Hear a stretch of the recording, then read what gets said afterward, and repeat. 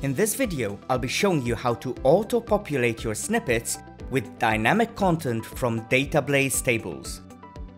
In another video, I showed you how to save your snippet form data into DataBlaze. But TextBlaze can also read from DataBlaze tables. Here's how it works. In my DataBlaze table, I click on Snippets and go to Use Row. This shows me a preview of what my new snippet will look like. In the new snippet, let's change the label and shortcut to something more relevant and try it out. Notice how this dropdown contains the entries from the name column and the corresponding data from the count column for each row. Now let's head back to our snippet to understand how it works.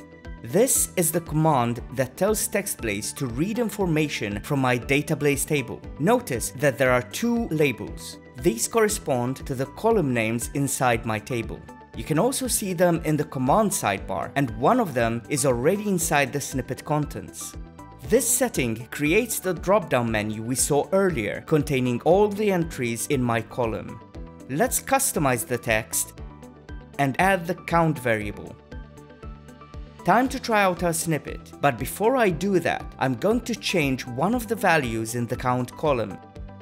Now I type my shortcut and once again we have our dropdown with the data points from the name column and the corresponding data from the count column for each row. Notice that the count for Sally has changed to reflect the new value I entered earlier.